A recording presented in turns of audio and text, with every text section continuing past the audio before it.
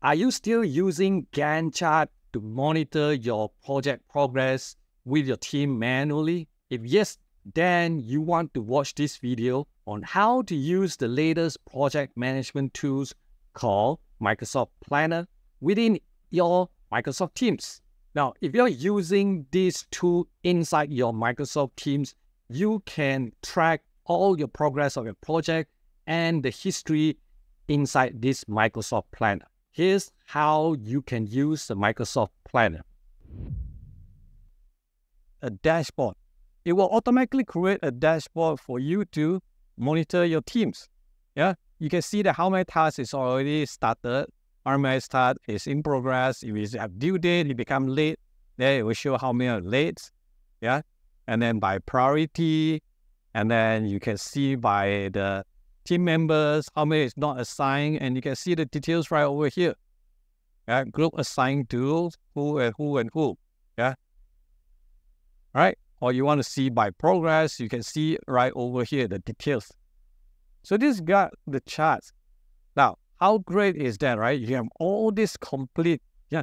As long as you have Microsoft Teams, then you should be able to use your planner, yeah, for free, right?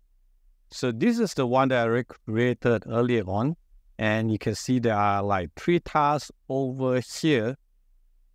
So now we have different phases. If you want to know more, uh, watch this video that I created earlier specifically on how to create or set up your planner. Yeah.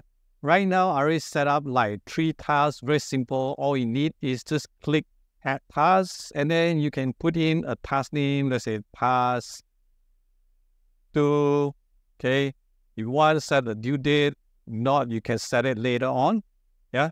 So task two right over here, and you want to look at the details, you can click over here, and then you can assign to any of your team members. I'll talk about that in a while.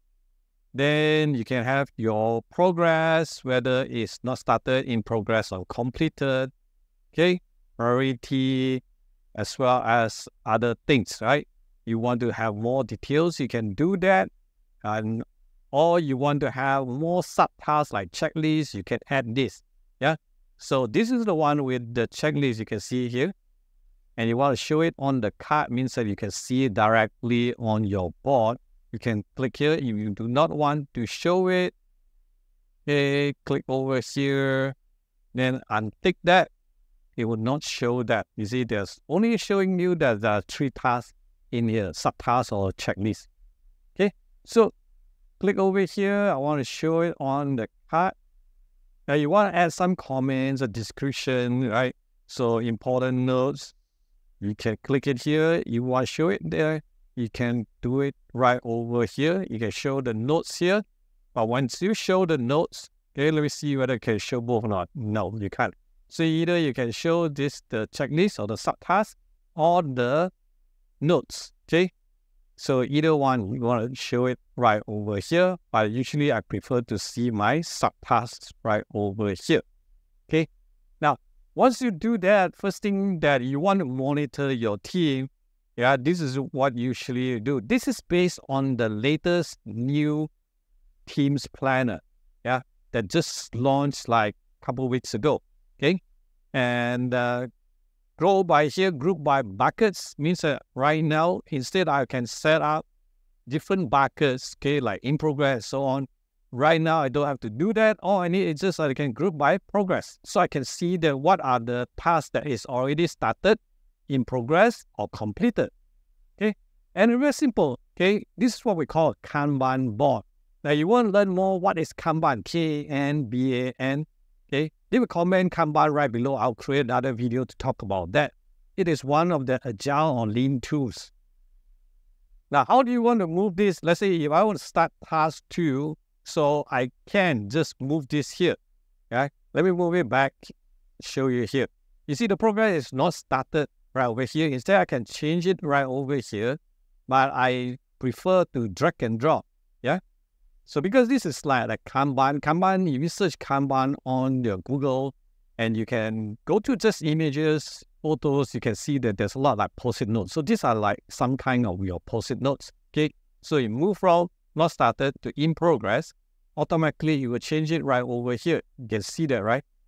And uh, now, if I want to check the the status by people, let me show you, let's say assigned to, okay? So I can see that how many tasks is assigned to different people, okay? So all I need is, uh, let's say, for example, I want to assign tasks to myself. I can drag it right over here. You can see that automatically it will comes out right over here. I hope you've seen the benefits of using this Microsoft Planner. Go and try it and let me know how it's going to work out for you. Try it out and let me know if you have any questions so that I can create more videos to help you to utilize these powerful tools. By the way, I'm Andrew. And if you like this type of productivity video, do subscribe to this channel and turn on the notification bell so that every week when we publish new content, you will be notified. And meanwhile, check out some of these videos that I created earlier, and I hope these videos will help you to grow your career.